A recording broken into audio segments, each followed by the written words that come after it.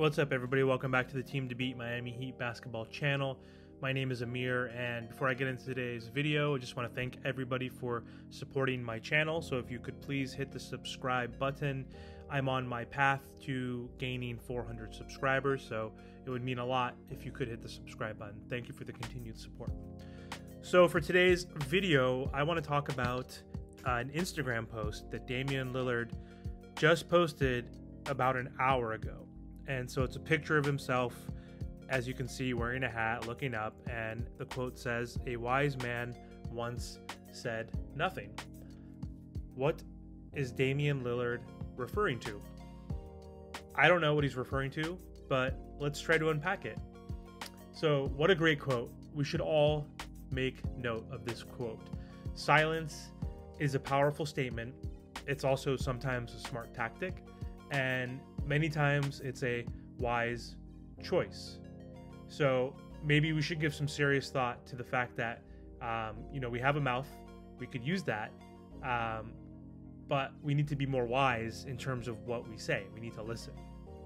And so, one of the biggest mistakes we make in speaking is when we speak when we're angry or upset, and that's ruined the lives of a lot of people one person in the NBA that has spoken while he was angry is James Harden.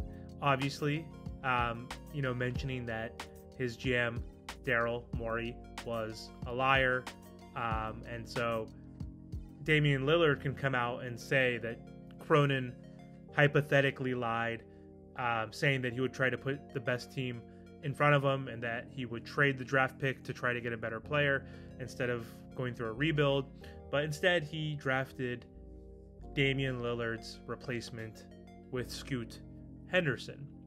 So, not sure why Dame exactly said this quote, but I think it means that a smart man knows that people fall for misconceptions and even lies sometimes.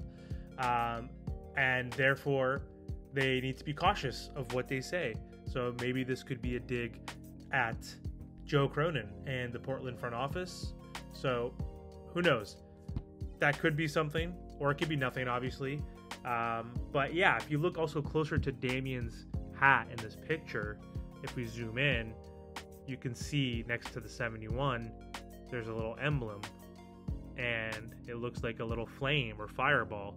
And I don't know, what does that remind you of? For me, I don't know what hat that is. Is it a St. Louis Cardinals hat? I don't know if that one make sense, but I can't tell what team that is or what brand it is, but that logo looks kind of familiar, guys. What, what kind of logo does that look like?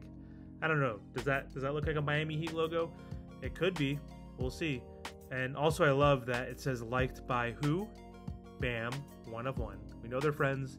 We know they follow each other, but I love that we see Bam in there liking this post. So, what do you guys think? Do you think this is a message to the Portland Trailblazers front office? Is he taking a moment of silence and a moment of anger to save hundreds of moments of regret? Who knows? But sometimes it's better to remain silent than to be a fool and to speak out and remove all doubts. Let me know what you guys think. I'll talk to you guys soon.